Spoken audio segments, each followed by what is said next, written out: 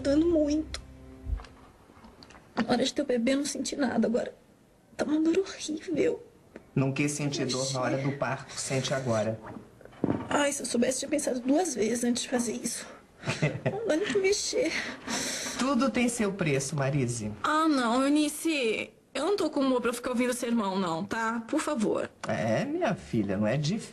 não é fácil ter filho. Agora se prepare, porque depois que cresce fica pior ainda.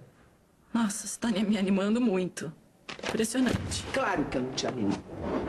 Você fez a burrada de ficar grávida de um pintorzinho qualquer, em vez de engravidar do meu filho. Se não fosse por mim, eu queria ver uma coisa. O que seria de você, hein? O que, que seus pais iam dizer? O filho pode ser do Gustavo também, tá? Ah, me poupe! Esse, esse filho é do, do pintorzinho, eu tenho certeza disso. Como você pode ter tanta certeza disso? Tendo, Marise. Tendo. De agora em diante, você tem que tratar o Gustavo como se ele fosse um verdadeiro rei e convencê-lo de que essa criança é dele.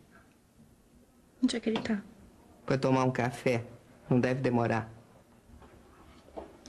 Posso que ele tá lá com a garçonete, com o pirralho dela. Que ódio. Pirralha.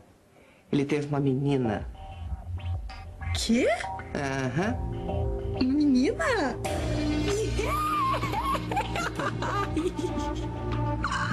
Ai, eu não acredito. Ponto pra mim, Eunice. É. Eu tenho certeza que o Gustavo sempre quis ter um filho homem. Tenho certeza. Ele não vai dar nem bola pra essa Eliana, pra pirralha dela. Ai, que delícia! Ai, tá bom. Ai, ai.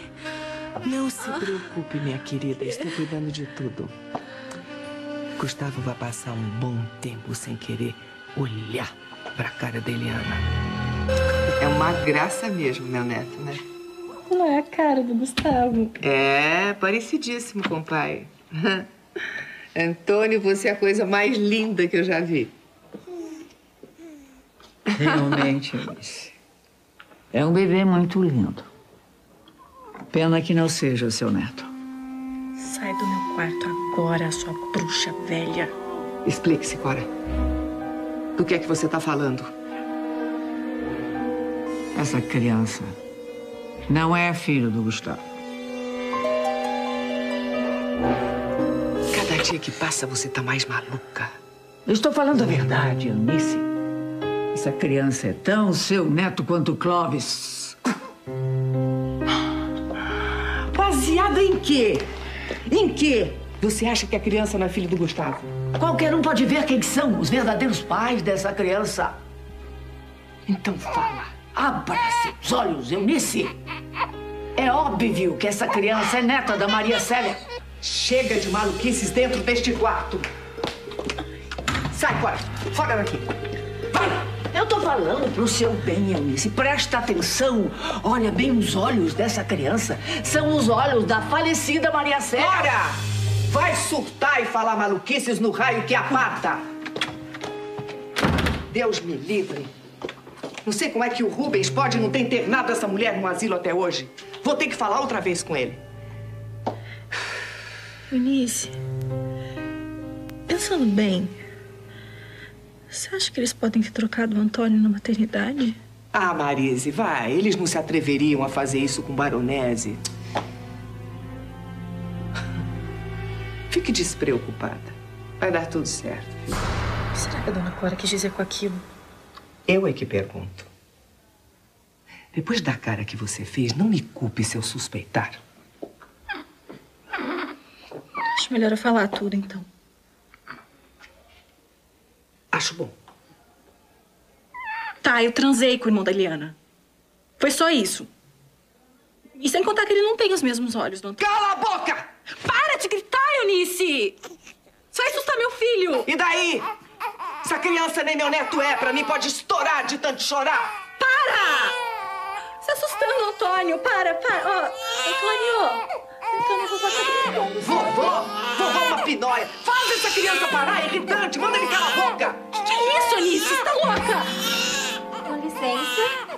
A senhora pediu pra me chamar? Por favor, leve essa criança pro berçário. Quê?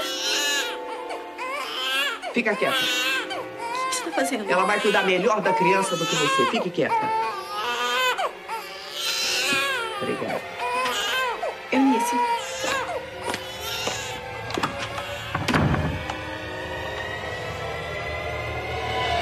que você está fazendo, Eunice? Devolve meu filho. Por que tanta pressa? Tem nada do Daniel, Eunice. Você não precisa fazer nada contra ele. E daí que ele não tem nada do Daniel? Ele também não tem nada do Gustavo. Ele tem de mim! Quieta. Você se comporte e fique quietinha, garota.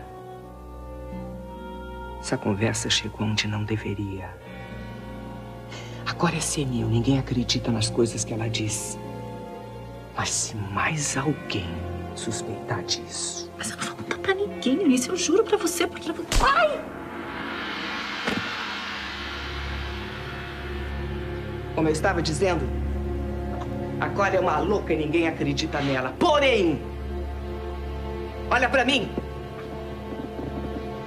Essa história acabou aqui. Entendeu? Aqui!